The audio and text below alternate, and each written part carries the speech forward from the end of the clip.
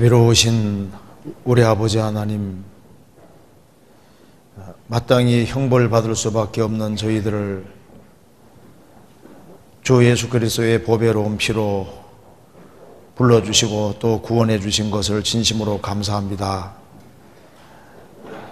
계속되는 주의 수양에 주님께서 함께 해주시고 말씀을 듣고 있는 사람 중에 한 사람도 이뤄지지 아니하고 다 영혼이 구원함에 이를 수 있도록 역사해 주시고 도와주시옵소서. 오늘 이 시간에도 주 성령께서 함께 해 주시고 우리에게 필요한 말씀을 허락해 주옵소서. 그리고 이 하나님 말씀이 영혼 속에 깊이 새겨질 수 있도록 도와주옵소서. 그리고 내일부터 있을 수원교회 전도집회 가운데도 함께 해주시고 구원받을 만한 사람들을 많이 연결시켜 주셔서 주님께 영광과 찬송에 돌아가는 귀한 집회가 되도록 도와주옵소서. 그리고 모든 준비하는 손길에 주님이 앞서 행해 주시고 도와주시옵소서. 이 시간에도 주님께서 함께 해주시고 도와주시기를 간절히 의지합니다. 주 예수 그리스도 이름으로 기도하옵나이다. 아멘. 예, 성경 누가복음 6장 찾으시겠습니다. 6장 46절입니다.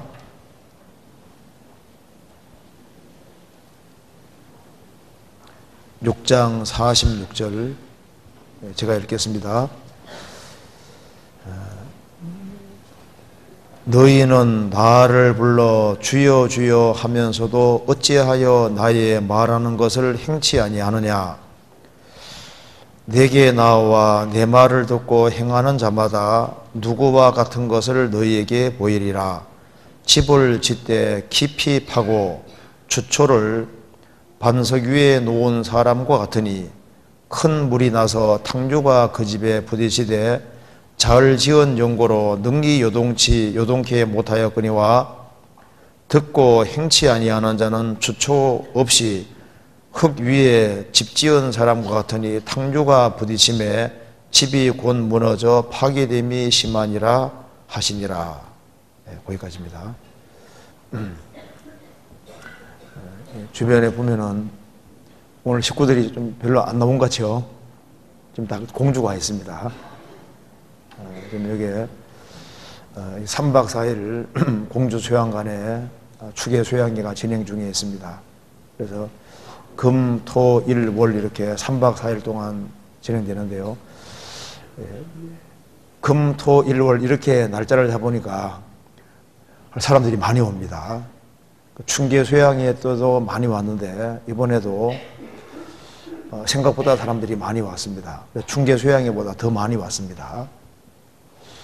그래서 식수 인원도 3,600명, 700명까지 되니까 사람 많이 온 거죠. 그래서 새로운 사람들도 아주 많고, 어, 그리고 이제 또 수원에 또 봉사가 또 연결돼서 많은 사람들이 지금 봉사로 내려가 있습니다. 어, 그래서 지금 어, 공주에서는 이제 복음을 지금 얘기하고 있는 때이기 때문에 같이 마음으로라도 기도해 주셨으면 좋겠습니다. 그래서 수양이 할 때마다 어, 정말 많은 사람들이 참석하고 또 많은 사람들이 구원을 받습니다. 학예 수양이 끝난 지가 얼마 안 됐는데도 불구하고 이렇게 많이 오는 거 보면 정말 너무나 놀랍고 신기한 것이라고 할 수 있습니다. 한 사람 인도하려면 참 안 쉽죠. 안 쉬운데 그렇게 많은 사람들이 오는 거 보니까 너무나 놀랍고 감사한 마음이 있습니다. 예, 오늘은 저기 누가복음 6장 46절에서부터 49절까지 말씀을 좀 생각해 보려고 합니다. 46절 먼저 보시겠습니다. 어, 예수님이 직접 하신 말씀입니다. 너희는 나를 불러 주여 주여 하면서도 어찌하여 나의 말하는 것을 행치 아니하느냐 내게 나와 내 말을 듣고 행하는 자마다 누구와 같은 것을 너희에게 보이리라. 집을 짓되 깊이 파고 주초를 반석 위에 놓은 사람과 같으니 듣고 행하는 사람은 깊이 파고 주초를 반석 위에 놓은 사람과 같아.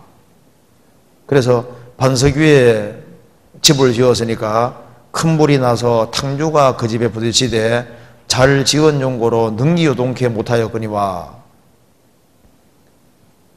깊이 파고 반석을 찾아서 반석 위에 집 지은 집은 안전한 겁니다. 근데 듣고 행치 아니하는 자는 주초 없이 흙 위에 집 지은 사람과 같으니 탕주가 부딪힘에 집이 곧 무너져 파괴됨이 심하니라 하시니라. 마태복음 7장에도 똑같이 얘기를 하고 있습니다. 반석 위에 집을 짓는 사람과 모래 위에 집 짓는 사람을 얘기했습니다. 근데 오늘 좀 생각해 볼 것은 48절에 집을 짓되 깊이 파고, 깊이 파고라는 말이 나와 있는데 그 제목을 좀 깊이 파고라는 제목으로 좀 말씀을 드려보겠습니다. 구원 받기 위해서도 깊이 파서 정말 반석을 제대로 찾아서 반석 위에 반석을 발견하고 그 위에 집을 지어야 되는 겁니다. 근데 반석이 아니라 그 49절에 흙 위에 집 지은 사람은 결국은 무너지게 되는 겁니다. 그리고 구원받고 난 이후에도 깊이 파고 이 말씀이 구원받고 난 이후에도 필요한 말씀이라고 할 수 있습니다. 우리는 단 한 번밖에 없는 인생을 살고 있습니다. 그렇기 때문에 어, 내가 정말 반석 위에 집을 짓는 사람인지 그걸 아주 분명히 할 필요가 있습니다. 그래서 깊이 파고 주초를 반석 위에 놓은 사람과 같으니 그 반석을 발견할 때까지는 안심하지 말고 반석을 아주 확실하게 발견하고 그 위에다가 집을 지어야 되는 겁니다.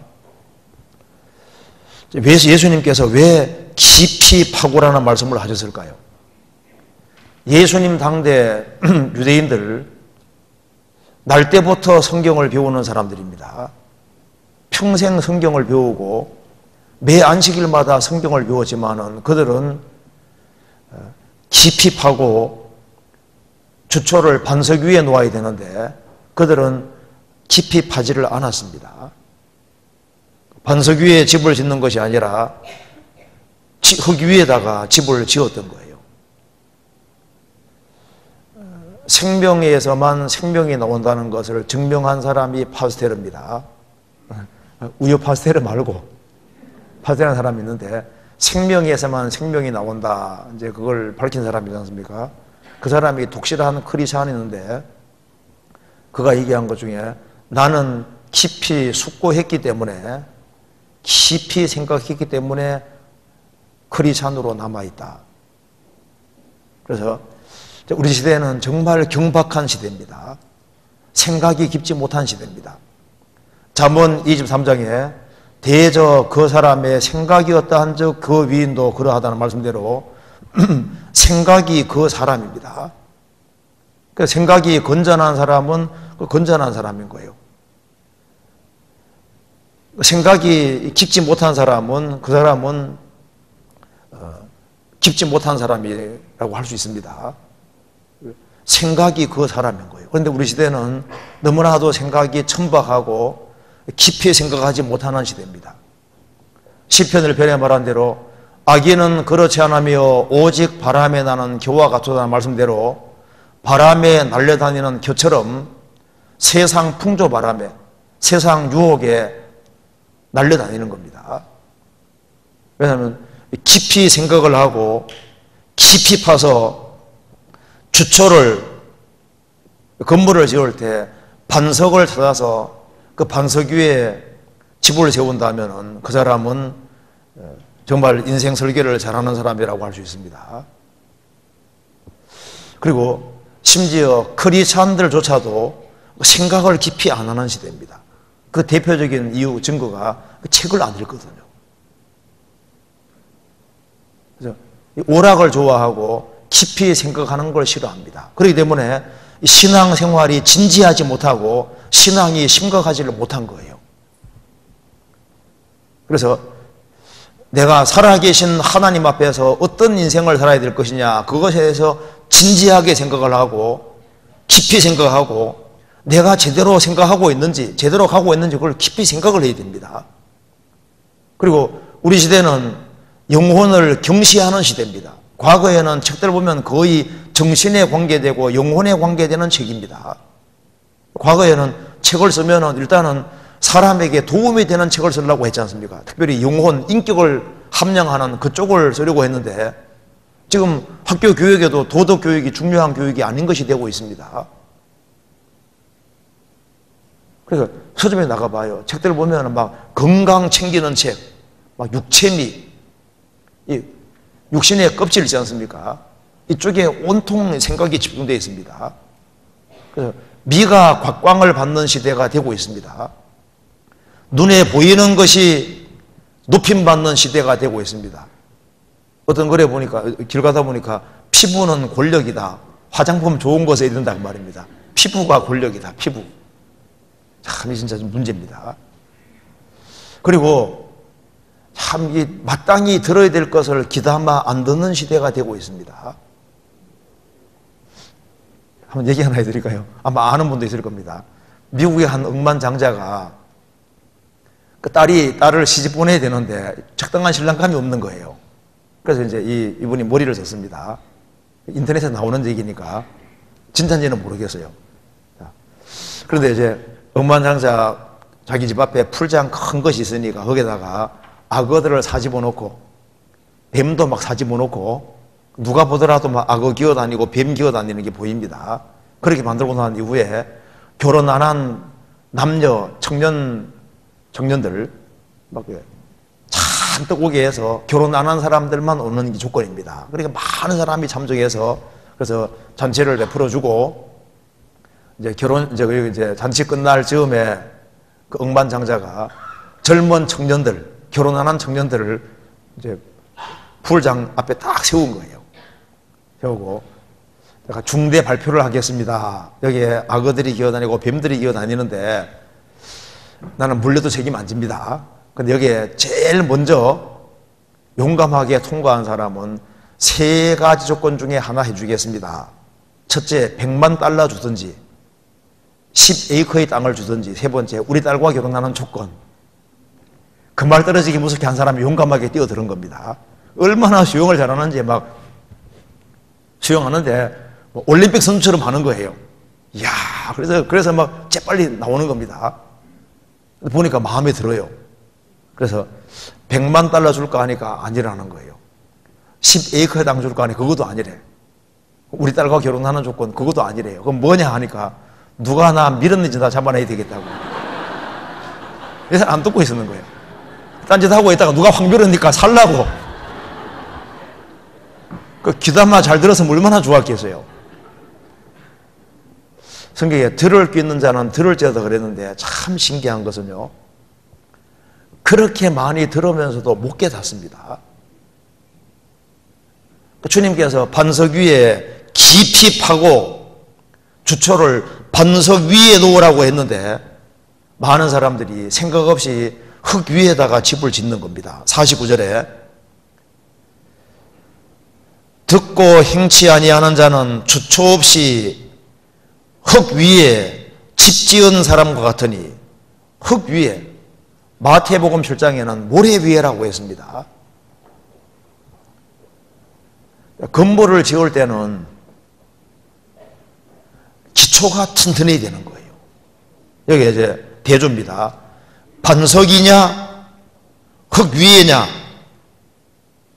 굳센 데를 찾아야 되는데 사람들이 이 굳센 데를 찾지 아니하고 흙 위에 거기에다가 집을 짓습니다. 주님 말씀하신 그 위에 집을 짓는 것이 아니라 흙 위에 집을 짓는 거예요. 사람들은 생활 살아가면서 아주 확실한 기초를 발견하기를 보통 원합니다. 생각이 있는 사람은 그 기초를 찾기를 원하잖아요. 아주 명확한 기초. 그 수학 아주 공식처럼 공리처럼 아주 명확한 기초 그런 기초를 찾기를 원합니다. 그런데 우리 시대에 많은 사람들이 인생의 기초를 돈으로 잡는 사람들이 생각보다 많습니다. 돈이 굳센데라고 생각합니다. 그러나 나는 예수님을 3년 반 동안 따라다니면서 얼마나 많은 말씀을 들었겠어요. 그럼에도 불구하고 그는 기초를 반석 대신 그리스도 위에 세우지 않았고 예수님을 참으로 자기의 주로 받아들이질 않았습니다.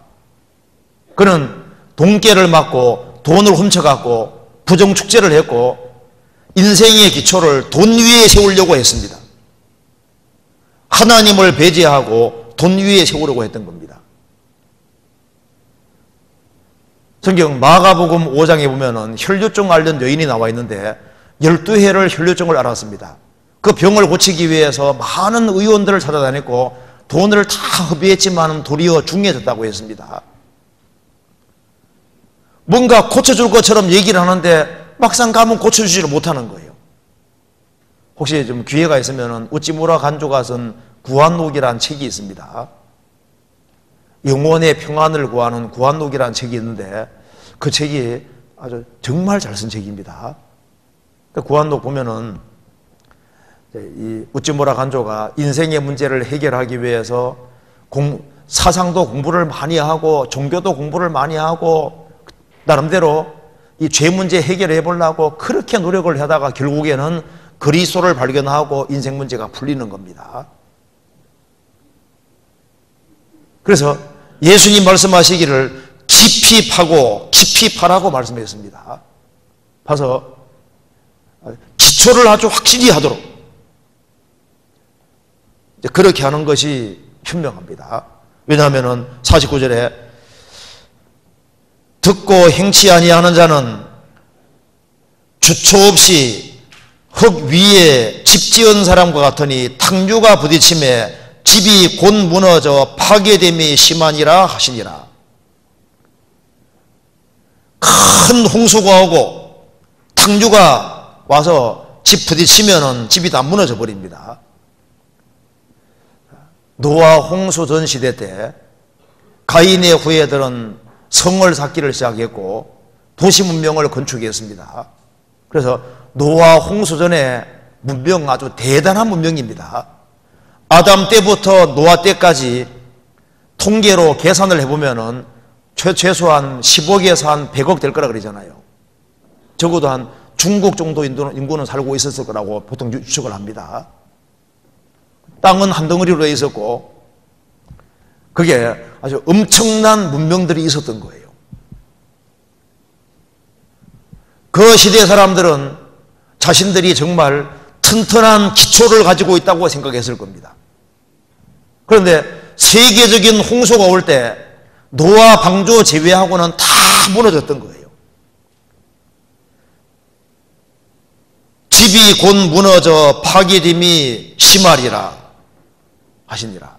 그런데 예수님이 이렇게 말씀하셔도 왜 깨닫지 못하고 흙 위에 집을 지을까요? 참으로 찾지 않기 때문입니다. 눈이 가려워져 있습니다. 디모데후서 3장에 말한 대로 항상 배우나 마침내 진리의 지식이 이를 수 없느니라 항상 배우지만 못 깨닫습니다.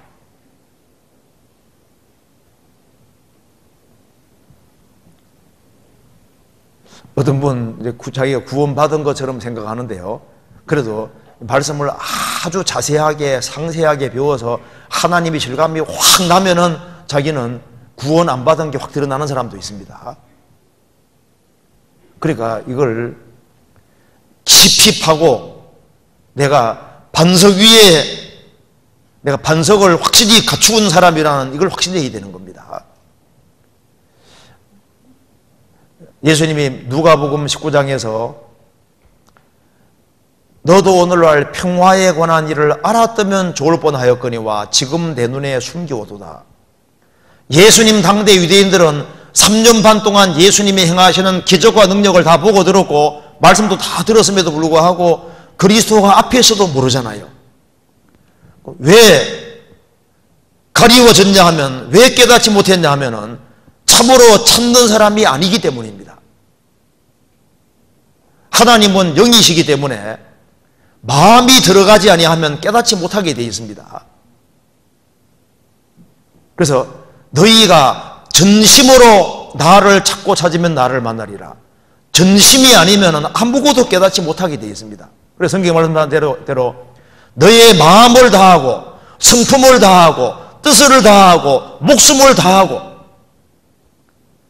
간절하게 찾아야만 확실히 깨달아지는 거예요, 하나씩.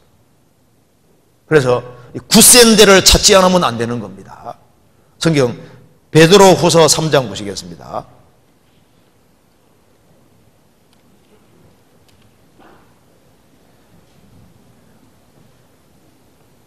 베드로후서 3장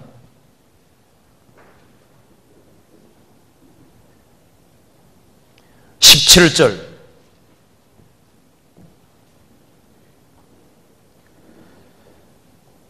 그러므로 3장 17절 그러므로 사랑하는 자들아 너희가 이것을 미리 알았은즉 무업한 자들의 미혹이 끌려 너희 굳센 데서 떨어질까 삼가라.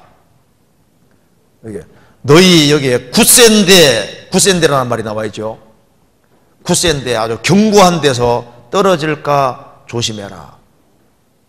우리는 굳센 데를 확실히 찾아야 됩니다 인생은 한 번밖에 없기 때문입니다. 이 세상에는 책이라는 책이 아주 많습니다. 근데 가장 견고한 책이 하나 있습니다. 무슨 책일까요? 성경책. 성경만큼 견고한 책은 없습니다. 그 우리 인생의 기초를 성경에다가 여기에다가 인생의 기초를 삼아야 됩니다. 저희를 진리로 걸어가게 하옵소서 아버지의 말씀은 진리니이다. 잘못 읽으면 진린다고 읽는데 성경은 사람을 지겹게 만든다 그게 아니라 진리, 참이다. 아버지 말씀은 진리다. 그런데 진리라고 입으로는 얘기를 하는데 진짜 진리라고 생각하지 않는 것 같습니다. 왜냐하면은 이 성경이 정말 정답이라고 생각한다면 어떻게 하든 간에 이 성경을 철저하게 바르게 익히고 이걸 내 것으로 만들라, 만들기 위해서 끊임없이 노력을 하는 것이 이게 정상적인 건데 그런데 입으로는 진리라고 생각하는데 이 성경을 인생의 기초로 삼고 성경, 성경의 근거에서 안 살아가잖아요. 너희 굳센 데서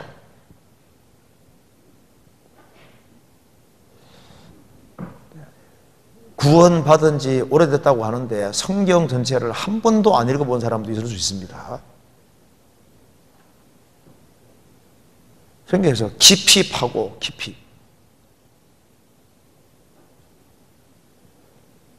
그리고 성경에서 말씀하기를 예수님이 죽으시고 부활하신 것을 사실로 믿고 있냐 그 말입니다. 우리의 견고한 터가 정말 예수님일까요? 예수님이 죽으시고 부활하시고 나와 함께 한다는 걸 내가 정말 믿고 있을까요?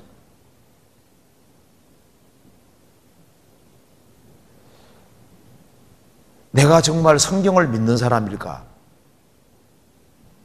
성경은 폐하지 못한다고 요한복음 10장에서 말씀하셨고 율법의 한 획이 떨어지는 보다 천지 없음이 시골이라고 말씀하셨는데 성경의 한 획을 천지하고 비교했는데 내가 성경을 그만큼 인생에서 중요하게 생각을 하고 내 인생에서 예수 그리스도가 그렇게 중요하냐 그 말입니다.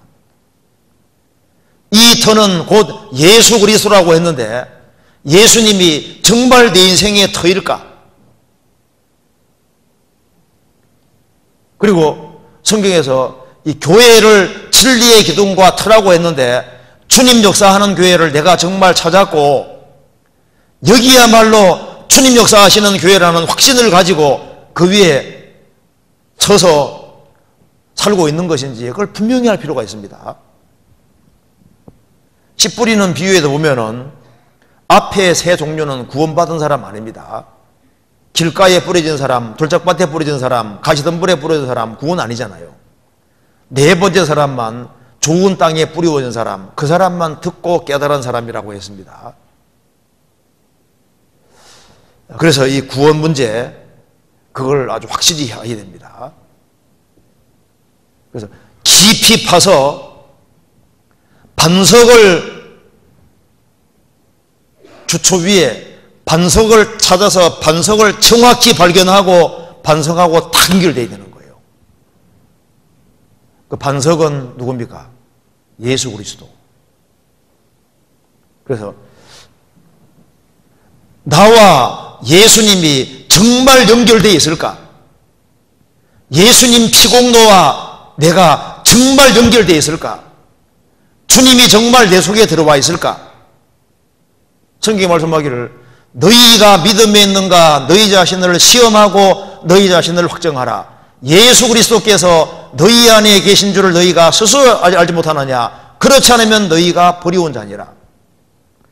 예수 그리스도께서 너희 안에 계신 줄을 스스로 알지 못하느냐? 그렇지 않으면 너희가 버리온 자니라.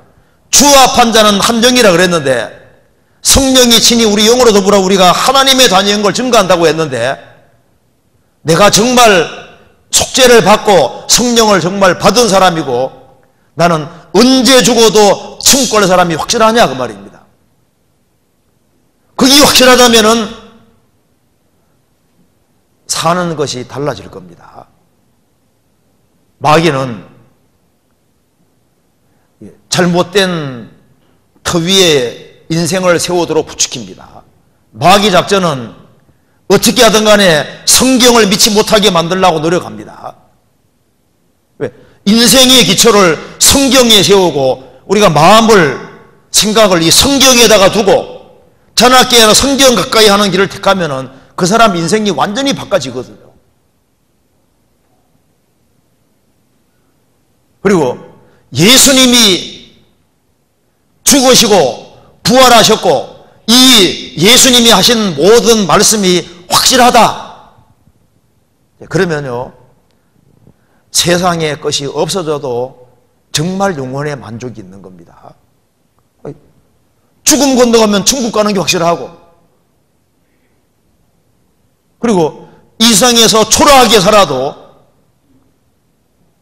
구원받은 게 확실하고, 언제 죽어도 갈 것이 확실하고, 소망이 확실하고, 그러니까 이 성경의 기초가 아주 확실하고 그리스도와 확실히 관계 맺은 사람은요 마음에 담대한 것이 있는 거예요. 우리가 아무리 가난해져도 태어날 때보다 더 가난할 수는 없잖아요. 태어날 때는 아무것도 못, 못 거치고 나왔습니다. 아무리 가난해도 거칠 것이 있잖아요. 이 세상과 정욕 다 지나갑니다. 결국은 다 없어지는 거예요. 그래서 먹을 것과 입을 것이 있은 적 족한 줄로 알 것이라 먹을 것이 있고 입을 것이 있으면은 만족하는 것이 있습니다. 자, 그래서 우리가 주님 말씀하신 대로 깊이 파서 주초를 반석 위에 그래서 내가 그리스도와 확실한 관계를 갖고 그래서 이 복음이 정말 내 것이 되어야 되는 거예요. 주님의 은혜가 내 것이 되고 내가 만세 반석 위에 서 있다는 확신이 필요한 거예요. 그것이 확실하면은 그 다음에 구원받고 난 이후에도 깊이 팔, 팔할 필요가 있습니다. 깊이 파고 이건 구원받고 난 다음에도 필요한 말씀입니다. 누가 보면 다시 봅시다. 6장에 6장 48절.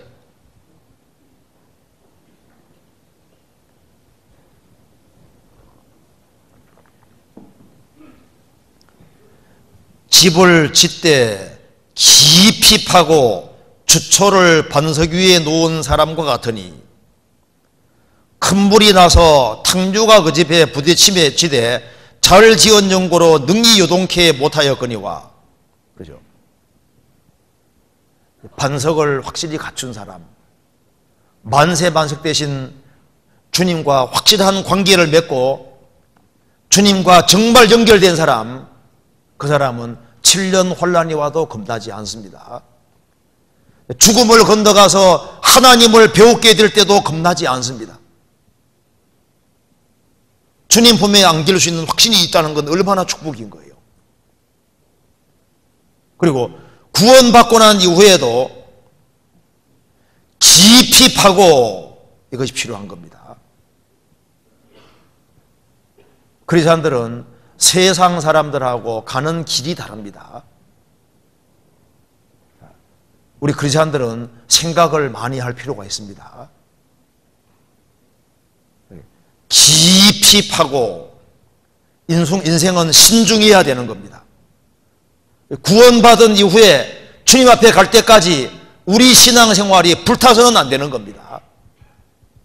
내가 정상적인 크리찬으로서 신앙생활을 하고 있다는 확신이 필요한 거예요. 그리고 주님의 능력이 나와 함께 하시고 주님이 나를 사용하고 있다는 확신도 필요한 겁니다.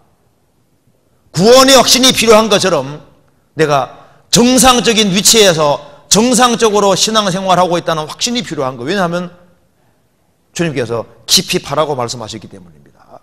성경 누가복음 6장 보시겠습니다. 6장 19절 보세요.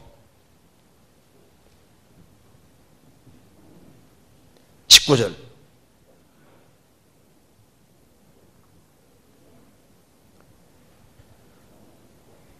온 무리가 예수를 만지려고 힘쓰니 이는 능력이 예수께로 나서 모든 사람을 낫게 하미라.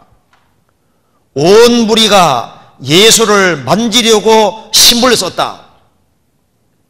이는 능력이 예수께로서 나서 모든 사람을 낫게 하미라.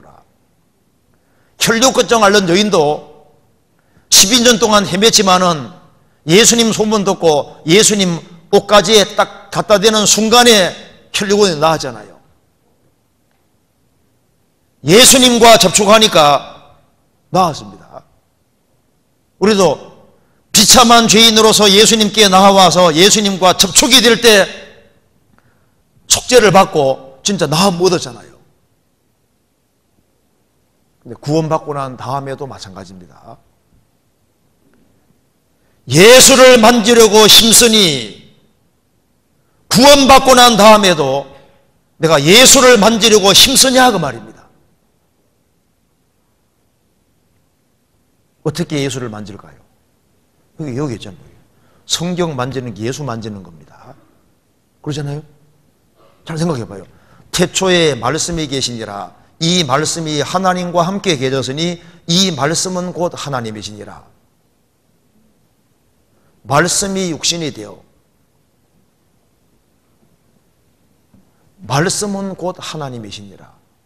그래서 성경 가까이 하는 사람은 하나님 가까이 하는 사람이고 성경 멀리 하는 사람은 하나님을 멀리 하는 사람이고 성경과 실제로 접촉하는 사람은 주님하고 접촉하는 사람이 될 수 있는 겁니다.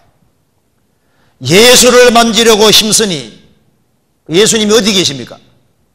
주는 영이시니 주의 영이 계신 곳에는 자유하면이라 주님 피로 구원받은 무리 가운데 주의 영이 두럭사시기 때문에 구원받은 무리 가운데 연결되기를 힘쓰는 사람은 예수를 만지려고 힘쓰는 사람이 되는 거예요. 하나님께 직접 나아가는 사람, 하나님을 가까이 하는 사람, 그 사람이 만지려고 힘쓰는 사람입니다. 그래서 주님이 내 영혼 속에 역사하고 있다. 내 마음속 역사하고 있다. 내가 조금씩 바뀌어가고 있다. 그, 그걸 자기가 확인할 필요가 있는 겁니다. 그 대충대충 살면 안 되는 거예요. 자, 그래서 오늘 좀 구체적으로 여기 깊이 파고 이 말씀대로 우리가 조금 신앙생활을 좀 더 신중하게 생각을 해야 되겠습니다.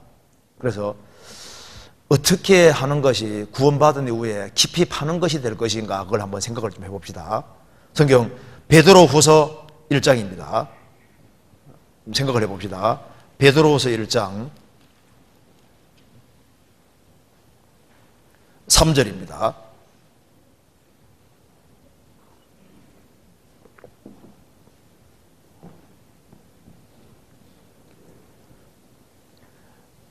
그의 신기한 능력으로 생명과 경건에 속한 모든 것을 우리에게 주셨으니 이는 자기의 영광과 덕으로서 우리를 부르신 자를 알므로 말미암이라.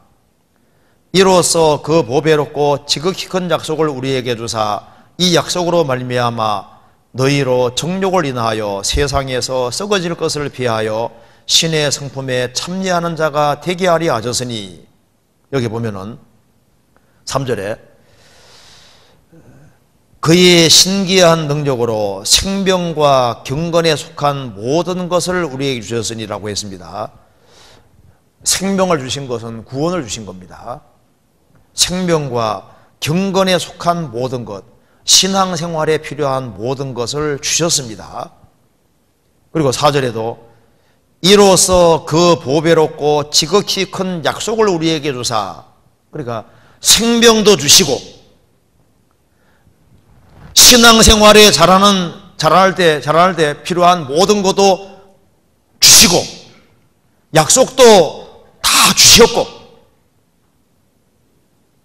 주님이 주셨습니다. 그리고 4절에 신의 성품이란 말씀대로 속에 성령이 들어온 사람은 신의 성품이 들어와 있습니다. 그래서 구원받아야만 없는 성품이 생기는 거예요. 그래서 영적인 갈망이 생기고 하나님을 더 알고자 하고 하나님 더 가까이 하고자 하는 마음이 계속 올라오게 되어 있습니다. 그래서 속사람이 하나님을 간절히 갈망하고 찾는 거기 계속 올라오게 되어 있는 겁니다. 주님이 주시지 않고는 취하시는 법이 없는 거예요. 이제 그래서 5절부터 7절까지 같이 읽어봅시다. 같이 읽겠습니다. 이러므로 너희가 더욱 힘써 너희 믿음의 덕을 덕의 지식을 지식의 절제를 절제의 인내를 인내의 경건을 경건의 형제 우애를 형제 우애의 사랑을 공급하라. 그 한 목사님이 얘기한 것 중에 이런 것이 있습니다. 하나님께서 우리에게 농장도 주셨으며 우리가 필요로 하는 모든 도구를 주셨습니다. 씨앗도 주셨습니다. 우리가 해야 할 일은 경작하는 것입니다. 맞는 얘기입니다. 하나님께서는 생명도 주시고 경건에 속한 모든 것도 주시고 약속도 이미 주셨습니다. 그러니까 주셨으니까 그것을 활용해서 너희가 더욱 힘쓰라. 어떻게 하는 것이 깊이 파는 것이 될까요? 너희 믿음의 덕을 믿음 다음에 덕을 세우기를 힘쓰라고 한 겁니다. 믿음 다음에 덕. 그리고 덕에 그다음에 뭐라 했습니까? 지식을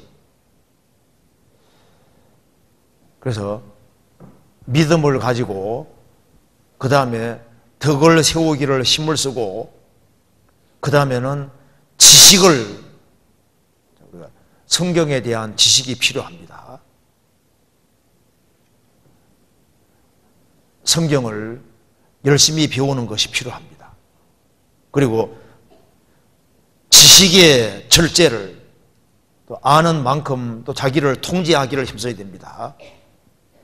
그 입술도 절제하고 생활도 절제를 하고 마음 절제하고 그래서 절제를 절제 인내를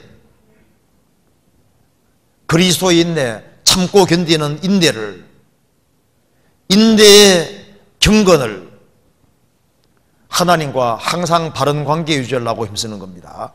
경건의 형제 우애를 구원받은 사람과 같이 이렇게 서로 신앙적인 교제 나누고 형제 우애를 형제 우애의 사랑을 공급하라. 불신자에 대한 사랑까지. 그래서 여기에 10절 같이 읽겠습니다.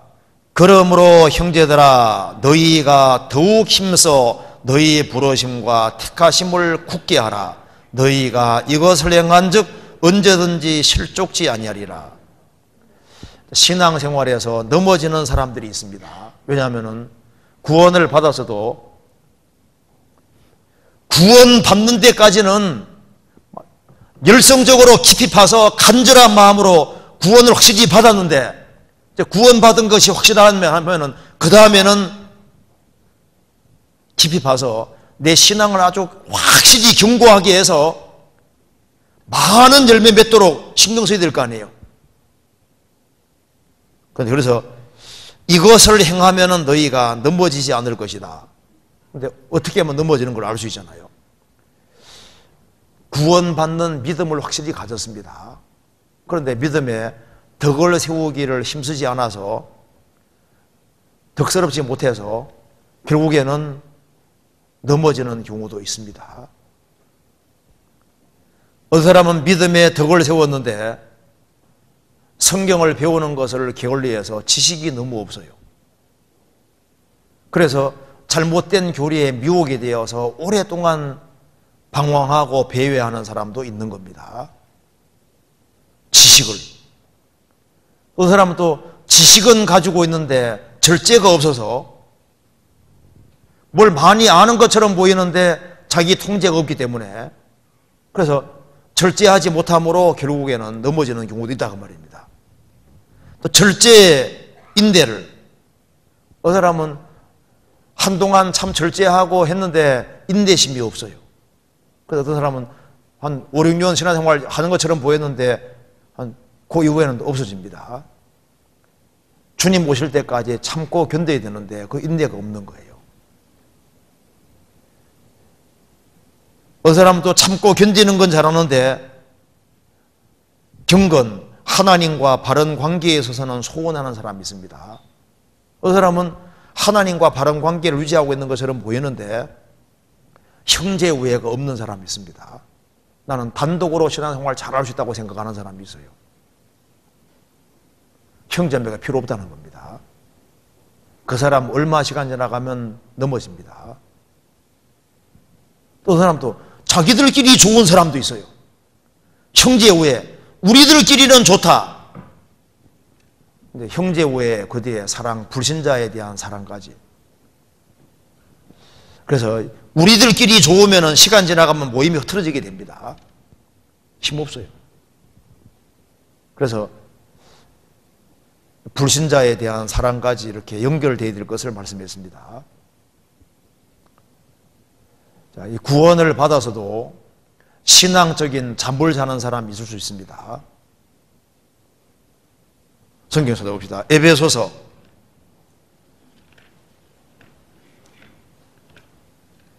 5장입니다.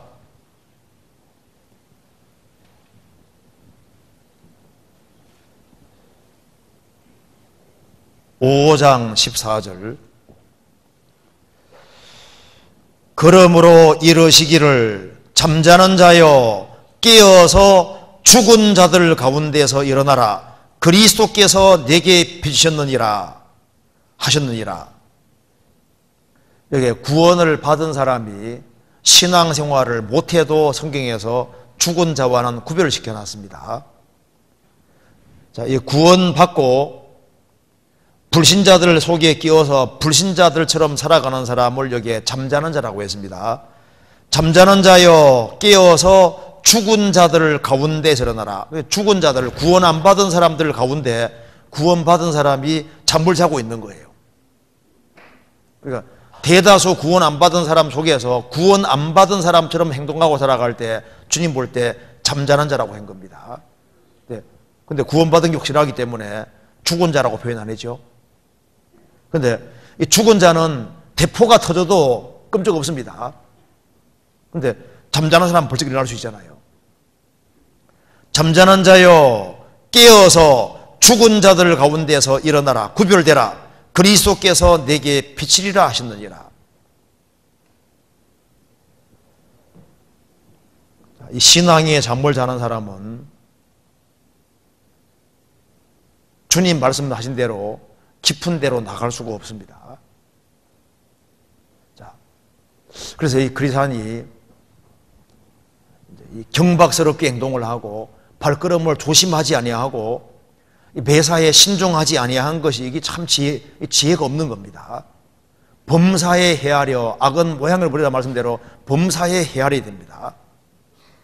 내가 신앙생활 제대로 하고 있느냐 안 하고 있느냐 이걸 분명히 할 필요가 있는 겁니다. 그래서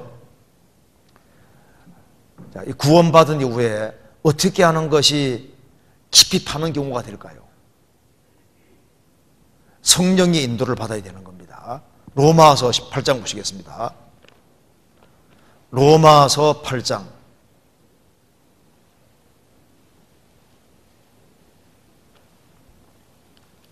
14절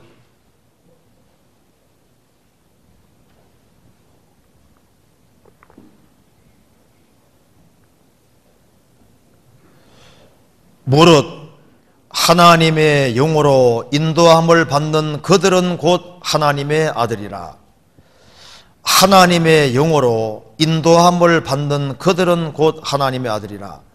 그 사람이 하나님의 아들이란 외적인 증거는 성령의 인도를 받는 거다 그 말입니다.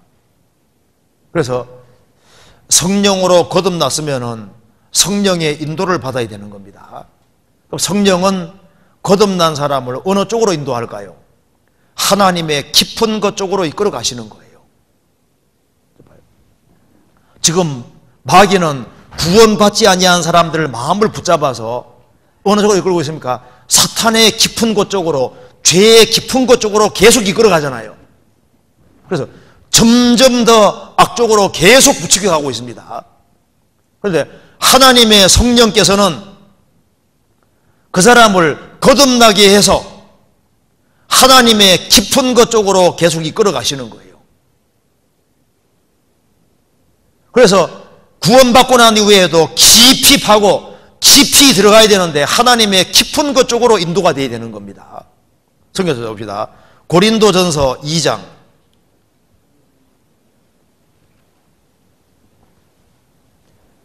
9절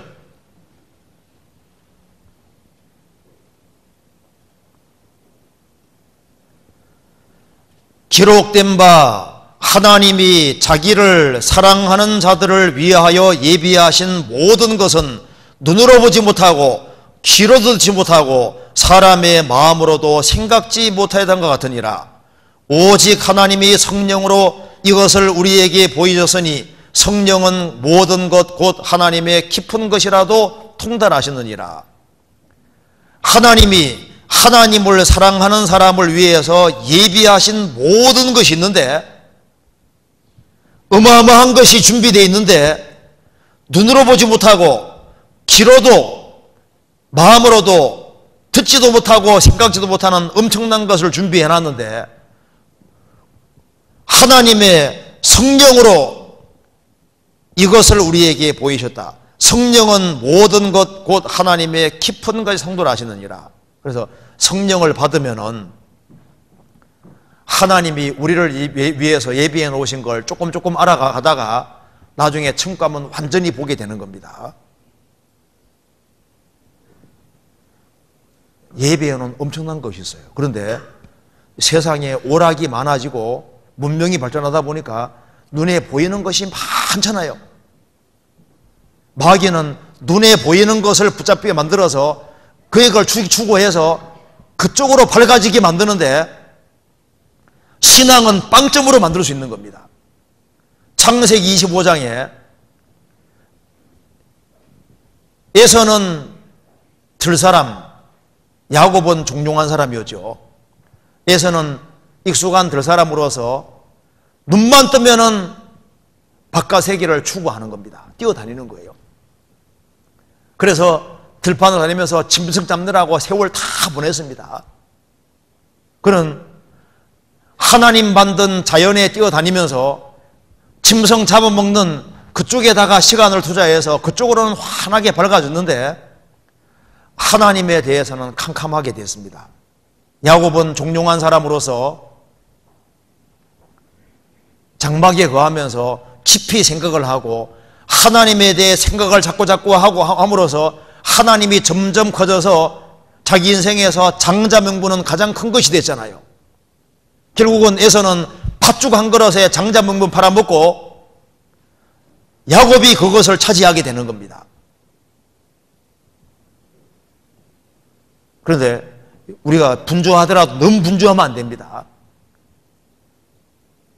세상에 오락이 많기 때문에 잘못하면은 하나님의 깊은 것하고는 차단되고 세상 사람처럼 세상에는 밝은데 하나님에 대해서는 캄캄할 수 있는 거예요. 하나님의 성령께서는 하나님의 깊은 것으로 인도하시는 겁니다. 어느 쪽으로 인도하실까요? 하나님의 성령은 은혜의 성령이기 때문에 우리로 하여금 하나님의 은혜를 깨닫는 쪽으로 계속 이끌어 가시는 거예요.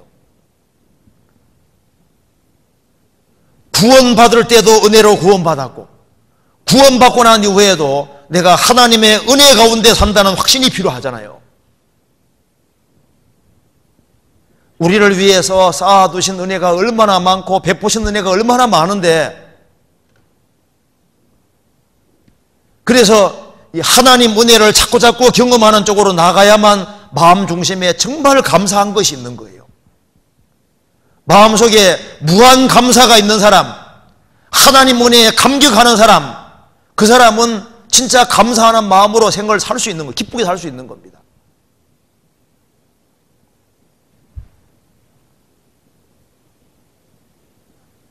성령은 진리의 성령입니다. 그래서 성령이 내 마음속에 역사하셔야만 그래야만 이 성경이 하나씩 하나씩 깨달아져 가고 예수가 과연 진리고 예수님 안에 진리가 다 들어있고 이 성경이 진리고 성경의 한 말씀 한 말씀이 세상의 어떤 것보다 더 중요하다는 걸 알게 되는 겁니다. 그리고 이 하나님 말씀을 하나씩 하나씩 깨우쳐가는 것이 얼마나 감사한 것인지 알게 되잖아요. 성령은 거룩한 영입니다. 성령은 사랑의 영이기 때문에 하나님이 나 같은 사람을 사랑하시고 하나님이 나를 위해서 얼마나 많은 것을 준비해 놨는데 시간 지나가면서 하나님의 깊은 것 쪽으로 계속 나가야 되는 거예요. 그래서 하나님의 은혜와 하나님의 사랑과 하나님의 능력으로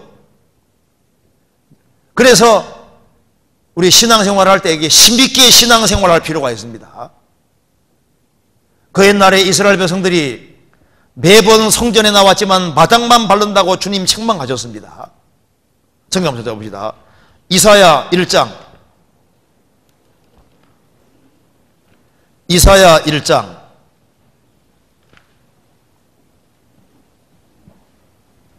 12절.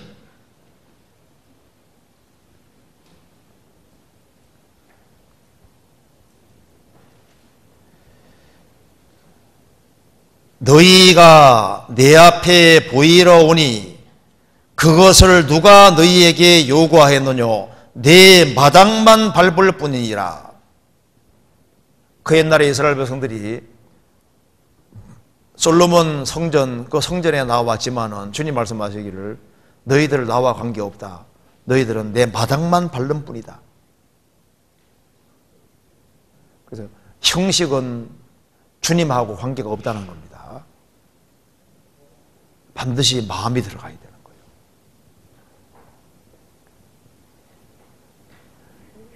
주일날 왔다 갔다 한다고 해서 신앙생활을 한다고 생각하면 제대로 한다고 생각하면 안 됩니다. 물론 나와야 되지만은 그거로 만족하지 말고 그 하나님에 대한 갈망이 필요한 거예요. 내가 구원을 확실히 받았으면은 신앙생활은 한번 제대로 해봐야 되겠다.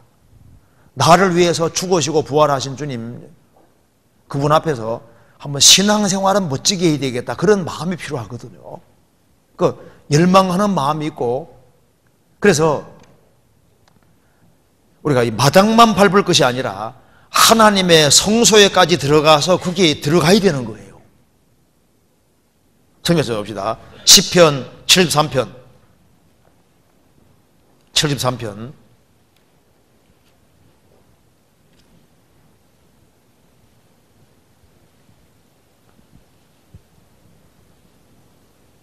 17절 16절 17절 같이 읽어보겠습니다. 내가 어찌면 이를 알까 하여 생각한 적 내게 심히 곤란하더니 하나님의 성소에 들어갈 때야 저희의 결국을 내가 깨달았나이다. 이 시편 기자가 마음에 답답한 문제가 있었는데 큰 갈등이 있었는데 하나님의 성소에 들어갈 때 하나님께서 영혼을 열어주시니까 확실히 깨닫게 해주시는 겁니다. 마당만 밟을 때는 몰랐는데 지금 성소는 구원받은 무리 가운데 들어오는 겁니다. 구원받은 무리 가운데 들어와서 같이 교제하고 같이 하나가 되고 할 때 주님이 정말 역사해 주시는 거예요. 그 속에서 하나님 영광을 보게 되는 겁니다. 10편 63편 63편 2절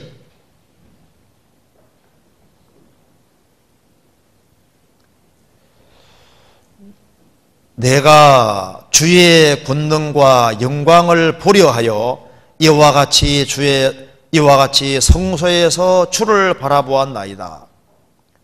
내가 주의 권능과 영광을 보려 하여 이와 같이 성소에서 주를 바라보았나이다.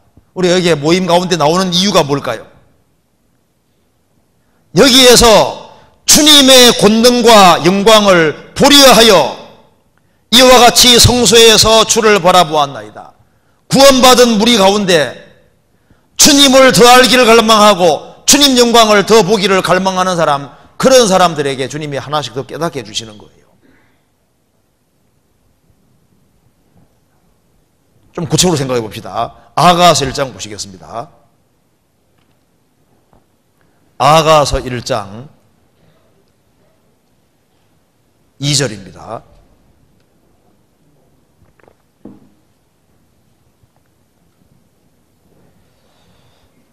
내게 입맞추기를 원하니 내 사랑이 포도주보다 나음이로구나. 여기 아가서는 솔로몬과 술람 여인의 사랑을 그리고 있는 것인데 주님과 성도의 사랑을 그리고 있는 겁니다. 내게 입맞추기를 원하니 내 사랑이 포도주보다 나음이로구나. 주님의 사랑은 이 세상의 어떤 즐거움보다 더 낫다는 겁니다. 그래서 이 그리스도의 사랑, 십자가 사랑을 성령의 도우심으로 정말 깨우친 사람은 세상에 주님의 사랑보다 더 큰 사랑은 없는 거예요. 그래서 내게 입맞추기를 원하니 구원받은 사람은 주님과 입맞춘 사람입니다. 시편 2편에 그 아들에게 입맞추라. 구원받은 사람은 예수님과 입을 맞춘 사람인 거예요. 사랑의 입맞춤을 한 사람인 겁니다. 주님과 사랑으로 연결된 사람입니다. 주님과 입맞추고 주님의 사랑을 정말 깨우쳤다면 그 다음 주님이 어디로 이끌어 가십니까? 4절에 왕이 나를 침궁으로 이끌어 들이시니 왕이 나를 침궁으로 이끌어 들이시 침궁은 아무나 들어가는 게 아니죠. 침궁들 원문에 복수로 되어 있습니다. 그 히브리어로 이렇게 복수가 되면은 엄청 크다는 뜻도 들어가 있고 이제 여러 개라는 뜻도 들어 있는데요. 왕이 나를 침궁으로 이끌어 들이시니 밀실입니다. 이제 주님과 사랑 관계가 이루어졌으면은 주님과 같이 있는 시간을 만들고 주님과만 있는 시간을 만들고 주님으로 기뻐하고 즐거워하는 것이 필요하다 그 말입니다. 예수님도 공생의 당시에 항상 군중들과 같이 있었던 것이 아니라 혼자 한적한 곳에 기도하신 것처럼 혼자 조용히 주님과만 있는 시간이 필요한 거예요. 주님이 내 사랑의 짝이 됐고 내가 주님과 정말 연결된 것이 사실이라면 주님과 함께 있는 시간이 필요합니다. 왕이 나를 침궁으로 이끌어 들이시니 왜 우리 시대 신앙생활이 경박해지냐 하면은 주님과 함께하는 시간을 안 가집니다. 조용히 주님과 있는 시간을 안 가지는 거예요. 그렇기 때문에 주님의 음성을 듣지 못하고 주님이 내게 말씀하는 것에 것이 있는데 그걸 귀담아 듣지를 않는 겁니다. 그래서 조용한 시간을 가져야 됩니다. 짧은 시간일지라도 주님과만 같이 있는 시간을 가지고 그래서 왕이 나를 침궁으로 이끌어 들이시니 입맞춤이 된 것이 확실하다면 주님은 나를 침궁으로 이끌어 들이시고 나와 같이 있는 시간을 가지기를 주님이 원하시는 거예요. 그리고 주님께서 주님과 개인적으로 이렇게 함께하는 시간을 가지는 사람은 틀림없이 무리를 소중히 여기게 돼 있는 겁니다. 그래서 여기 아가서 2장 4절입니다. 그가 나를 인도하여 잔치집에 들어갔으니 그 사랑이 내 위에 기로구나.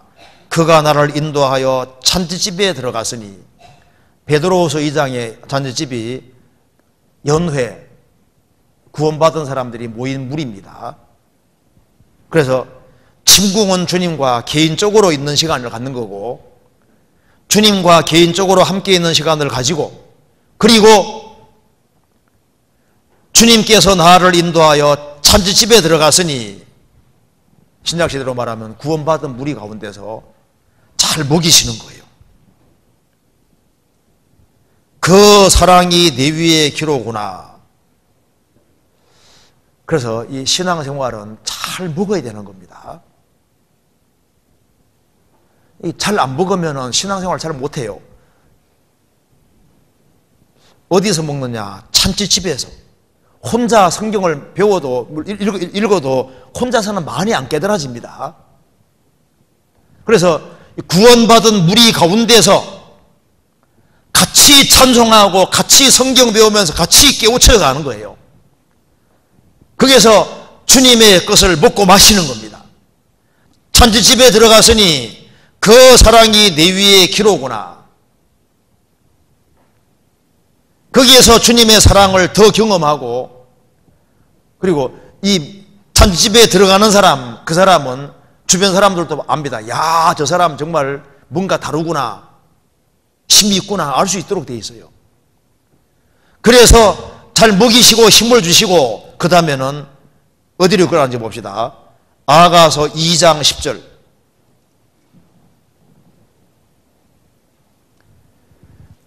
나의 사랑하는 자가 내게 말하여 이르기를 나의 사랑 나의 어여쁜 자야 일어나서 함께 가자.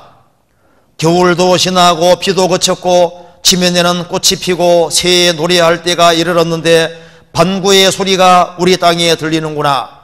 무화과 나무에는 포도 열매가 익었고 포도나무는 꽃이 피어 향기를 토하는구나. 나의 사랑 나의 어여쁜 자야 일어나서 함께 가자 잘 먹이고 난 이후에는 함께 가자고 하잖아요. 나의 사랑, 나의 어예쁜 자야. 주님께서 구원받은 사람을 얼마나 사랑하시고 얼마나 어예쁘게 여기는지 아세요?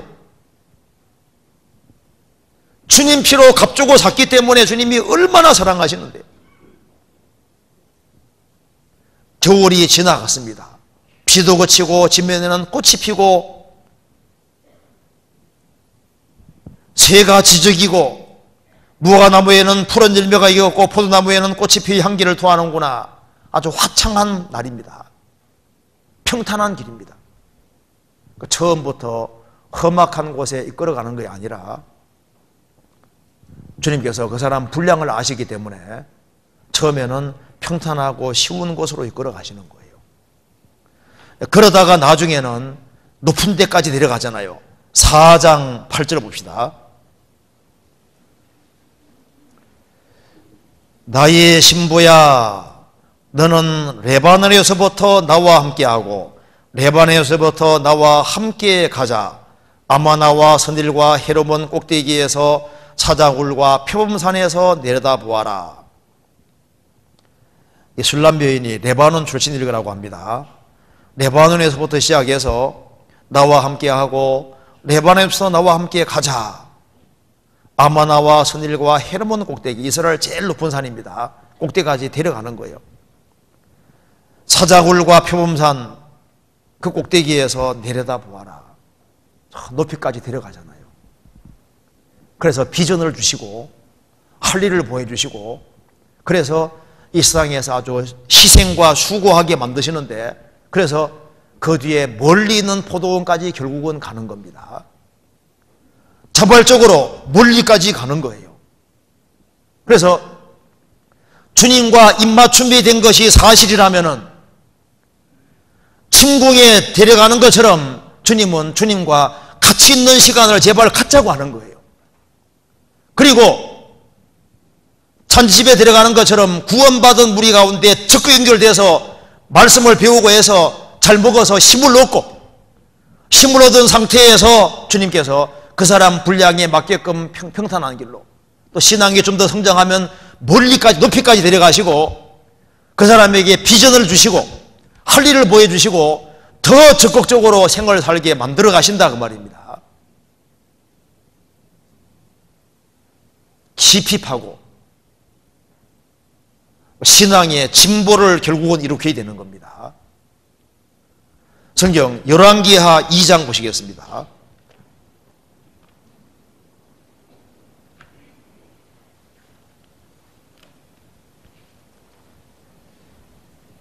2장 1절입니다. 561페이지입니다.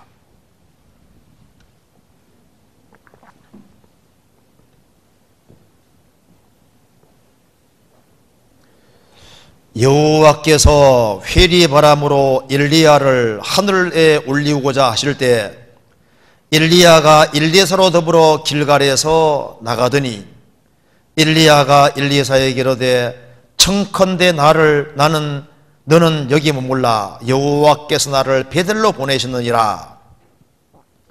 일리사가 로되 여호와의 사심과 당신의 혼의 삶을 가르켜 맹세하노니 내가 당신을 떠나지 아니하겠나이다. 이에 두 사람이 베들로 내려가니라. 내려가니. 그 다음에 4절입니다. 일리야가 저에게 로되 일리, 일리사야 청컨대 너는 여기 머물라. 여호와께서 나를 여리고로 보내시느니라 일리사가 가로되 여호와의 사심과 당신의 혼의 삶을 가르켜 맹세하노니 내가 당신을 떠나지 아니하겠나이다 하니라. 저희가 여리고에 이름에 6절.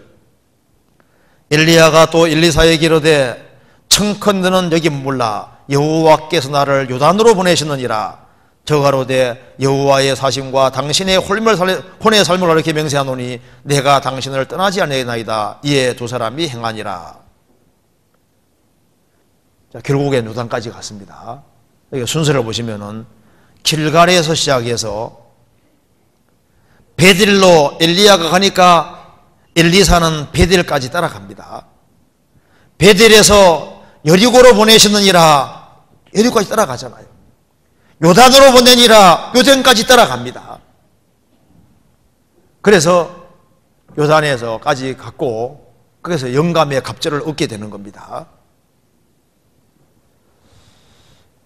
여기 왜 이런 순서라는 걸 만들어 놨을까요? 길갈은 할례를 받은 곳입니다. 할례는 육적 몸을 벗는 거잖아요. 그래서 구원받을 때 죄를 사함받고 성령 오는 것이 영혼에 할례 받는 거예요. 길갈인 겁니다. 길갈에서 시작해서 거듭나는 곳으로 시작해서 베델까지 보내는데 베델까지 가야 됩니다. 베델이 뭔지 아시죠? 창세기 28장 19절에 베델은 하나님의 집이란 뜻입니다. 야곱이 돌베개, 돌베개 베고 잠이 든 곳이잖아요. 하늘이 열리고 사다리가 보이는 사다리가 예수님의 그림자입니다. 베델, 하나님의 집입니다. 그래서 구원받은 것이 확실하면은 기어코 하나님의 집까지 가야 되는 겁니다. 그리고 그 다음에는 여리고, 여리고 안 뭡니까? 여리고성 무너질 때 처, 처음에는 첫날에는 한 바퀴 돌고 둘째 날 여섯 가지 한 바퀴 돌고 일곱째 날은 일곱 바퀴 돌았죠? 하나님 말씀에 순종해서 성이 무너졌습니다. 여리고는 순종의 자리인 겁니다. 그래서 우리가 하나님의 집에 가서 그 다음 뭘 배워야 됩니까? 순종하는 것을 배워야 되는 거예요. 주님 말씀하시면 네. 그 다음에는 여리고, 여리고는 죽는 곳인 거예요. 요단강, 요단강은 항상 십자가의 죽으심과 부활에 참여하는 겁니다. 신앙생활 속에서. 그래서 구원받고 난 이후에 순종하는 가운데 헌신을 참으로 배우는 사람이 주님의 병거와 마병이 되고 주님께 귀하게 쓰임 받는데요. 그래서 구원받은 것이 확실하면은 기어코 하나님의 집에 연결이 되고 하나님의 집에 연결이 되어서 거기에서 순종하는 것을 배우고 거기에서 요단강 그게 바로 죽음에 참여하는 거니까 희생과 수고입니다. 그래서 죽음은 죽으리라 희생과 수고와 헌신을 배우는 사람 그런 사람이 주님 앞에 귀하게 쓰임 받게 되는 거예요. 구원받고 난 이후에도 깊이 파야 됩니다. 그래서 어떤 사람 보면은 신앙이 너무 얄팍할 수 있는데요. 물론 구원받고 처음, 처음, 처음엔 다 열이잖아요. 그런데 마음만은 확실히 해야 돼, 마음만은. 어떻게 하든 간에 신앙생활 바르게 해서 주님께 귀하게 쓰임 받아야 되겠다는 갈망이 필요한 겁니다. 그렇잖아요. 15에서 11장 읽어보시면 순서가 잘 되어 있잖아요. 아벨은 믿음으로 부담받고, 그 다음에 아벨 다음에 에녹. 에녹은 어떻게 돼? 에녹은. 에녹은 이제 하나님 기쁘시게 하는 자라는 증거 얻었잖아요. 노아는 하나님과 함께 일했습니다. 그래서 믿음으로 구원받고 주님과 동행하며 주님을 기쁘시게 하고 그 다음에 주님과 함께 일하는 사람. 자, 그래 구원받고 난 이후에 깊이 팔아. 구원받을 때 말씀의 맛을 알았습니다. 구원받고 난 다음에도 이 말씀의 맛을, 말씀이 진짜 달달한 것을 느낄 필요가 있습니다. 성경 찾아봅시다. 10편, 119편.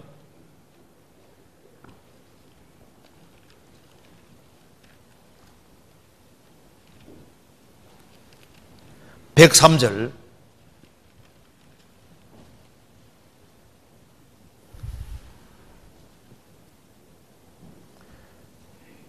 103절 제가 읽겠습니다.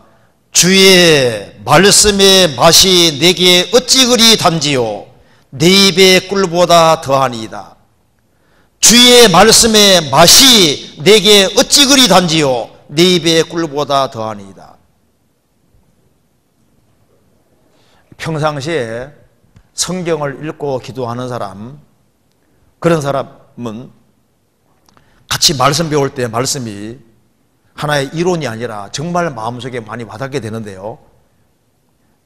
평상시에 성경을 안 읽는 사람은 이게 같이 하나님 말씀 배우고 이렇게 할 때 말씀이 귀점만 때리는 때리고 끝나는 경우가 많습니다. 그러니까 평상시에 부지런히 성경을 읽어 가면서 말씀을 듣고 이렇게 해야만 맞아 맞아 하면서 이제 이게 힘이 나게 돼 있는 거예요. 주의 말씀의 맛이 내게 어찌 그리 단지요 내 입에 꿀보다 더하니이다. 그리고 이제 우리가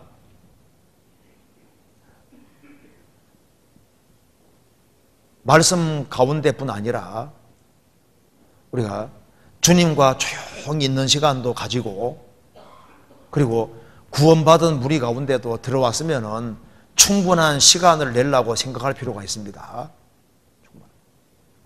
바빠도 사실 그렇게 바쁜 게 아니에요. 잘 생각해 봐요. 그 구원받은 사람들 속에 있는 것을 시간 아깝게 생각하면 안 됩니다. 사실 다른 데 시간 보내는 게 훨씬 더 아까운 경우가 많은 거예요. 그렇지 않습니까? 주님과 함께 조용히 있는 시간이 그게 아까운 시간이 아닙니다. 주님과 조용히 함께 있는 시간을 가지면 이게 진짜 주님께서 보고 계시잖아요. 알게 모르게 주님이 여러 가지로 축복해 주시는 거예요. 그리고 구원받은 무리 가운데 같이 있기를 소원하는 사람, 그런 사람도 주님 다 보시는 거예요. 그리고 주님은 그 마음을 딱 보시고, 그 진짜인 사람, 그 사람을 주님 축복해 주시는 겁니다. 그래서 구원받고 난 이후에 신앙 체험이 자꾸 생겨야만 그래야만 신앙생활이 활력 있고 힘이 있는데 만일 깨우쳐지는 것도 없고 주님이 내게 역사하는 것도 하나도 안 느껴지고 이제 이렇게 이렇게 되면은 이것이 시간 지나가면은 신앙이 후퇴돼 버리는 거예요. 신명기 1장 보시겠습니다.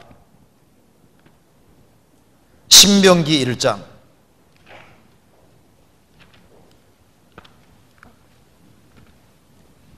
6절입니다.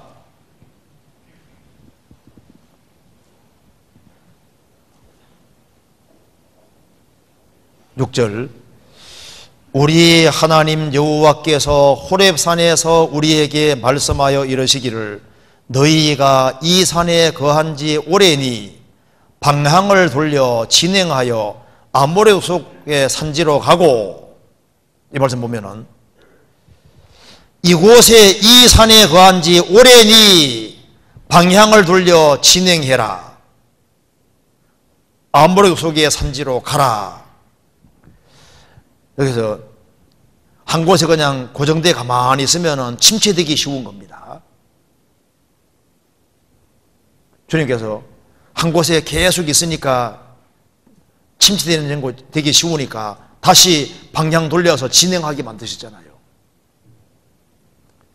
그래서 반복적으로 계속 되기만 하면은 마음이 흐트러지기 쉽고 후퇴하기가 쉽습니다. 그래서 습관적이 되면 정체가 되기 쉬운 거예요. 습관적이 되면 미지근해지기 쉽습니다. 신앙생활은 할 때 확실히 할 필요가 있습니다. 자, 그래서 이제 제가 좀 구체적으로 어떻게 깊이 팔 거냐, 누가 깊이 파냐 그 말입니다. 그 방법을 생각해 봅시다. 첫 번째는 묵상입니다. 우리가 하나님 말씀을 깊이 생각을 하면서 자꾸 되새길 필요가 있습니다. 우리가 여기서 만일 조용히 영원에 대해서 한번 묵상을 한다고 해봅시다. 영원이란 게 도대체 뭘까?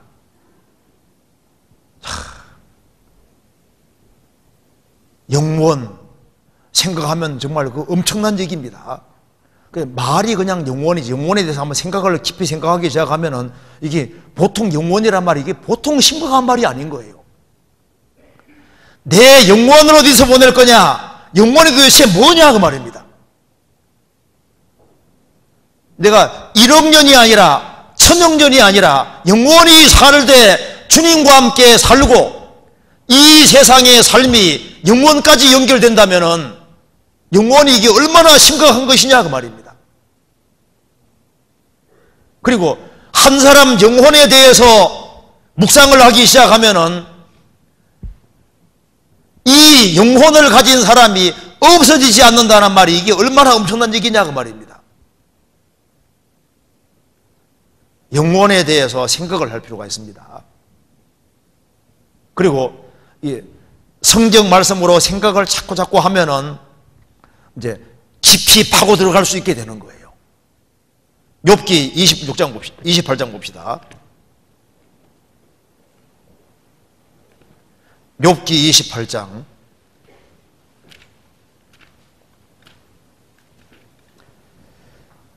1절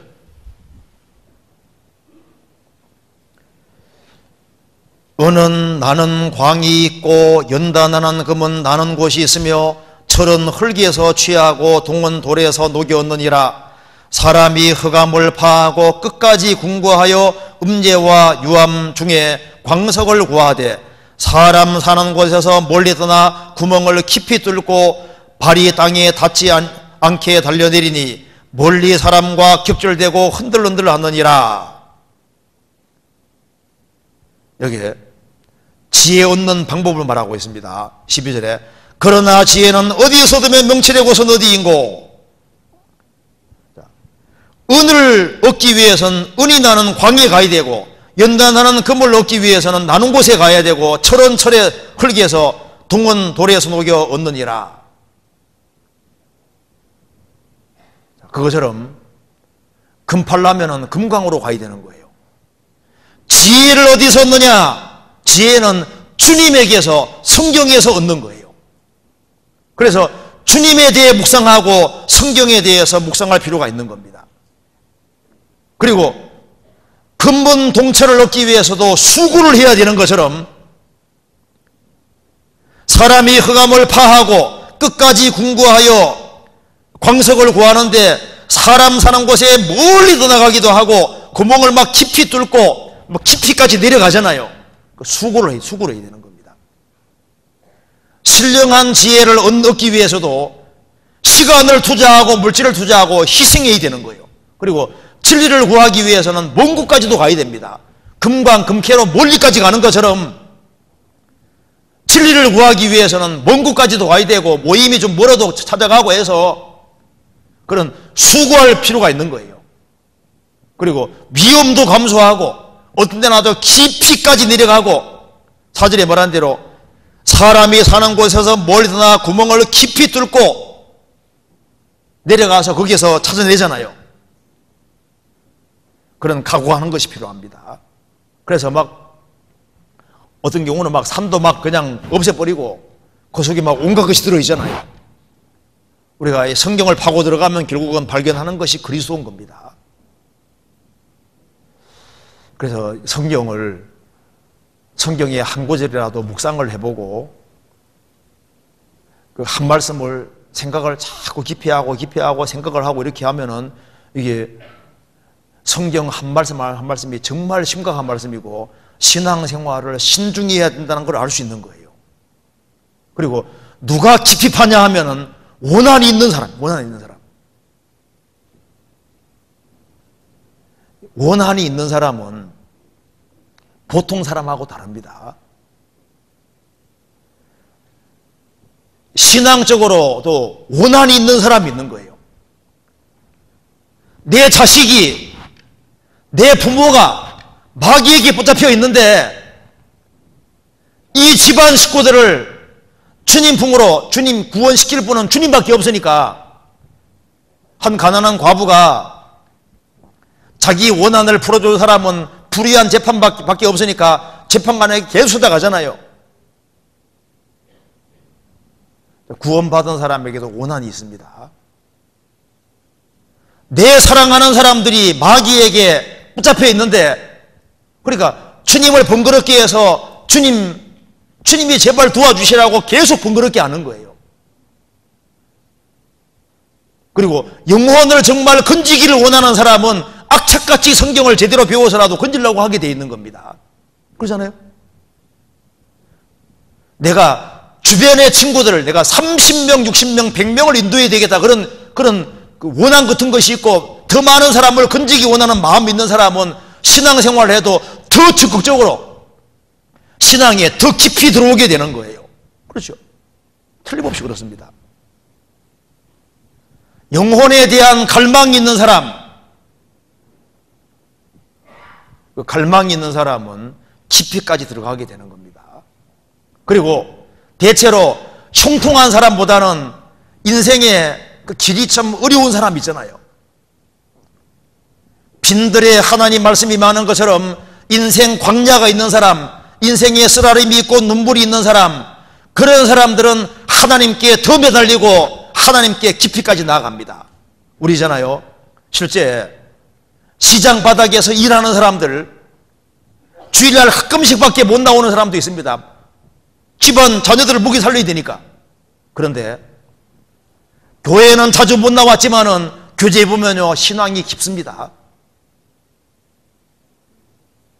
통통한 사람, 평탄한 사람, 아무 일도 없는 사람 그런 사람보다는 마음에 고통이 있고 갈등이 있고 어려움이 있고 인생의 슬픔을 많이 겪는 사람 그런 사람들이 훨씬 신앙이 깊을 수 있어요.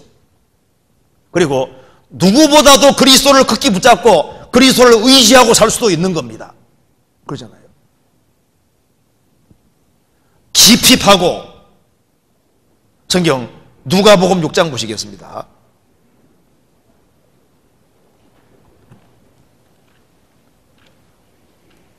누가 깊이 파고 들어갈까요? 누가복음 6장 38절입니다.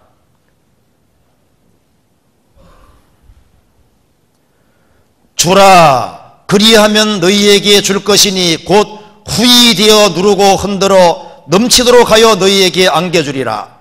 너희의 헤아리는 그 헤아림으로 너희도 헤아림을 도로 받을 것이니라. 하나님을 크게 헤아리는 사람은 깊이 들어갑니다. 내가 하나님을 어떻게 헤아리고 있을까요?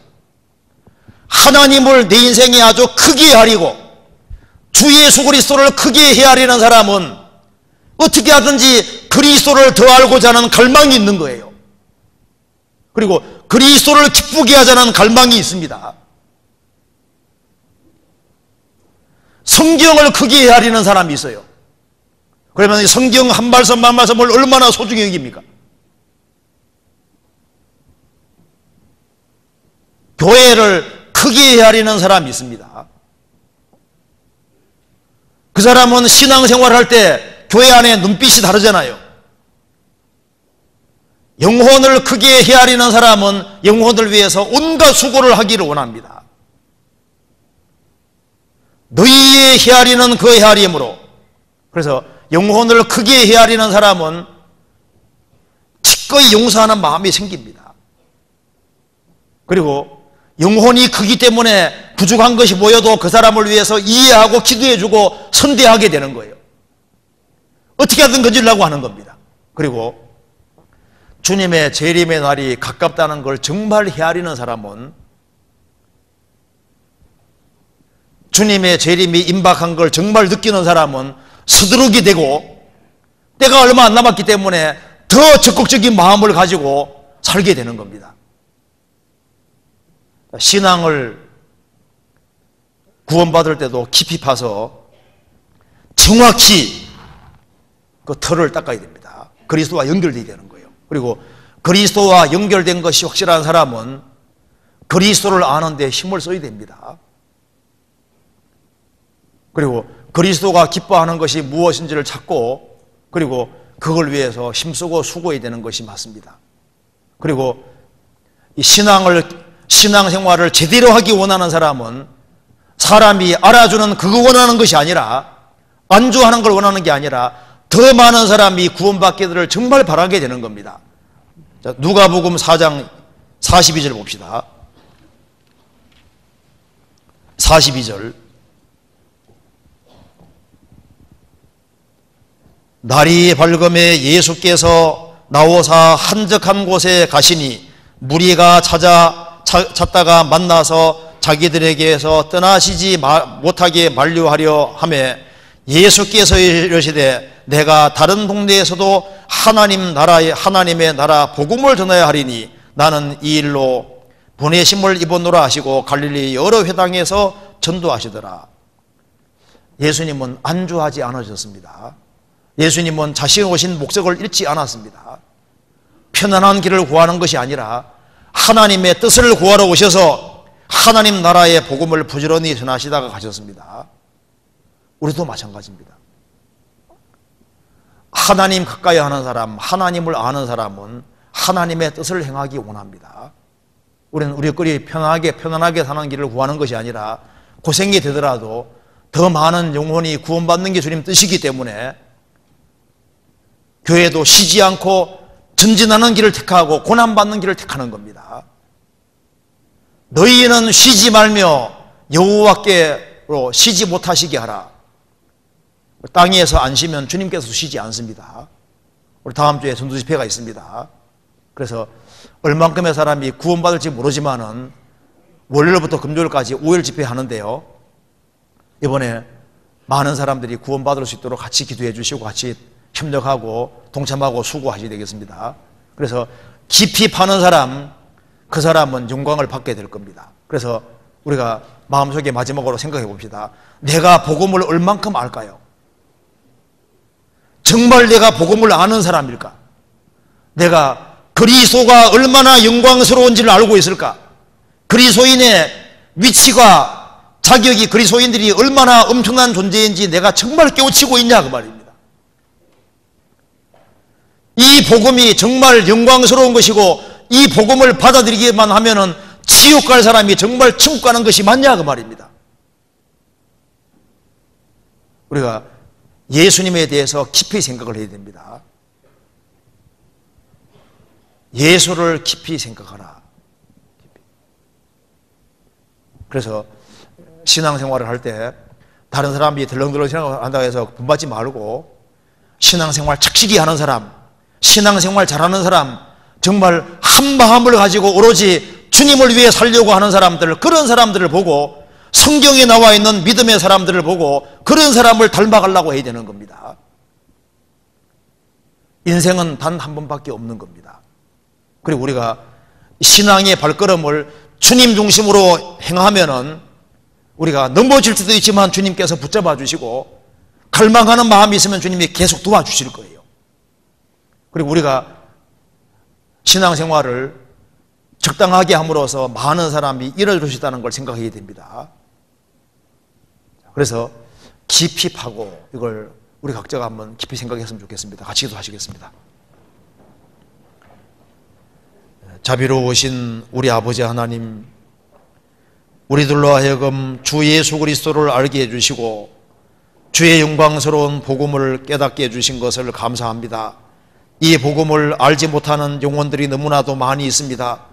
그 영혼들을 건지기 위해서 우리가 해야 될 일을 최선 다해 살 수 있도록 도와주시고 오직 주님께 영광이 돌아가는 삶이 될 수 있도록 도와주옵소서. 죽으시고 부활하신 예수님을 깊이 생각할 수 있도록 도와주시고 우리 인생도 뿌리 깊은 나무처럼 깊은 뿌리 깊은 신앙생활이 될 수 있도록 역사해 주옵소서. 저희들로 하여금 주 안에서 튼튼하고 견고하게 만들어 주시고 아무 죄악이 저희들을 주장치 못하게 만들어 주시고 주의 영광을 위해 살 수 있도록 더욱 길을 열어 주옵소서. 주계 수양에 또 수원교회 전도 집회 가운데 함께 해 주시고 도와주시옵소서 주 예수 그리스도 이름으로 기도하옵나이다. 아멘. 찬송